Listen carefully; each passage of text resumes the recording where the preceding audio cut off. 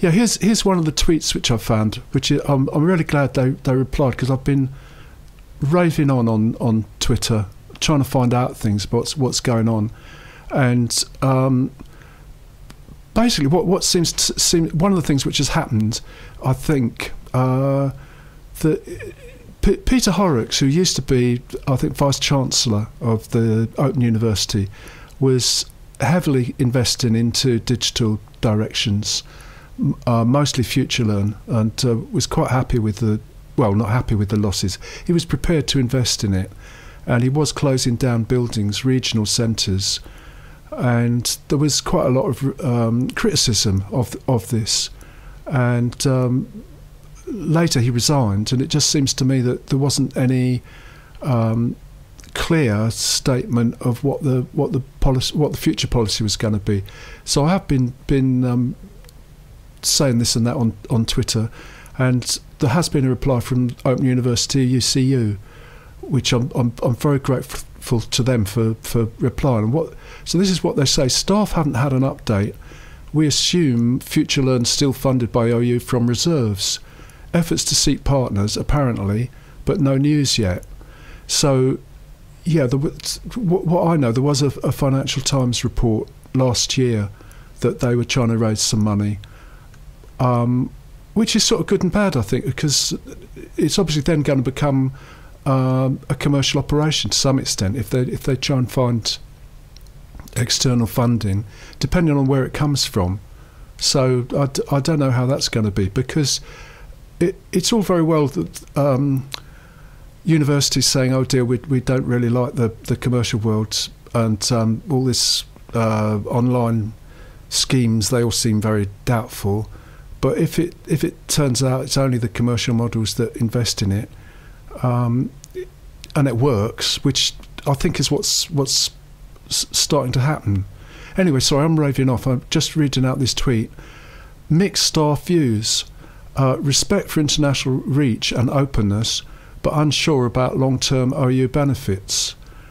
Uh, yeah, I think that from previous tweets, and I, I, think that there's some people who don't, well, have doubts about the, the fact that FutureLearn is a platform used by a lot of universities, not just the Open University.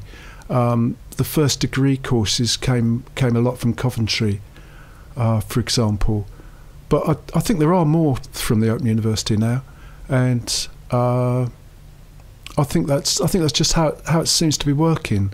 So. Um, edX is a, a, United States platform. Was well, based in the United States on the on the East Coast, and there's several UK universities work, working with them. Uh, there's uh, an announcement about in, Imperial working with Coursera uh, that came out last last week on a machine learning course, and I, I think that's just how it is. It's all it's, it's, all going to be quite mixed up. And then the last bit, which is a very very good point, uh, in, brackets with a smile, also just to point out no union recognition. So that would be interesting to know a bit more about that. It's, it would appear FutureLearn no union recognition. Uh, I don't know if anybody's listening who knows any different. Uh, let us know you can tweet to us uh, W E N O T N O, and there's I'll, I'll just put more. Th- this is this has been retweeted um, in on yeah as as W E N O T N O. So you'll you'll find all of these. Um, but it started with me com- commenting about buildings uh, because there's a there's various slides and videos that turn up and it includes um, one about a, a, global MBA from Macquarie University, and it's it's massively featuring their campus, their buildings, and it just seems totally weird to me why why the campus is so significant. Um, so why why? Uh, so I don't know. The, the, I'm just trying to get an idea of the, the, the, the comparison of the numbers involved because I think FutureLearn has lost about 30 million, maybe a bit more, but that would that would be about one building, I think. I don't know if anybody if anybody knows any any sort of comparisons as to what universities are spending on their on their campus, and and why. and especially why um, in Exeter we're spending so much on student accommodation when it's all going to go online. Maybe, maybe not. I don't know. Anyway, I think I must go back to some music. I will rave on a bit more la- later.